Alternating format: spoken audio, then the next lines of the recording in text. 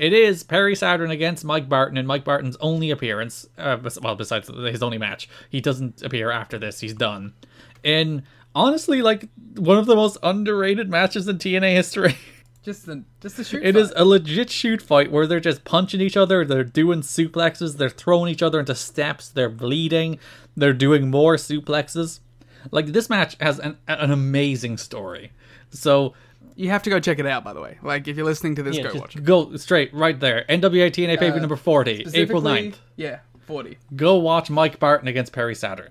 So the story of the match is Mike Barton is wailing on Saturn. Saturn is bleeding. Saturn is struggling to compete. He's like falling all over the place. But every time Barton punches Saturn, Saturn's like punch me again and punch me again and punch me again.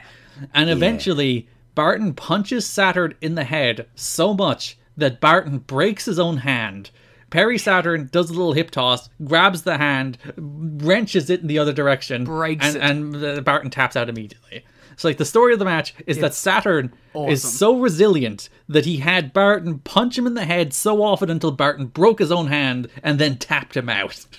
And the like the submission finish is so sick looking too. Oh, yeah, it does look like he literally wrenches his wrist in the other direction. It's like, oh, God. Even without the whole breaking Yeah, hand this is- context, that probably would have been a, like a, a good submission finish.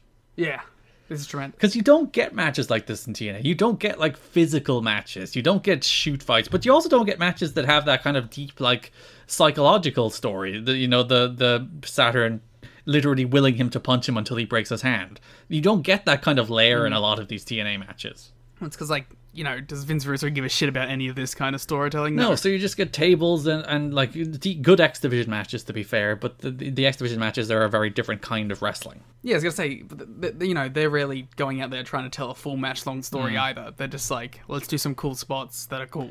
Whereas these guys, it's like we're, we're gonna go out there, tell a story, and beat the shit out of each other. Which what more do you want in pro wrestling? It's basically it, right? I'm very disappointed Mike Barton never comes back. I kind of like it.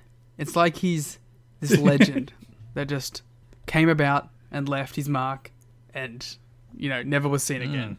And it is it's Saturn's best match in TNA too. Definitely.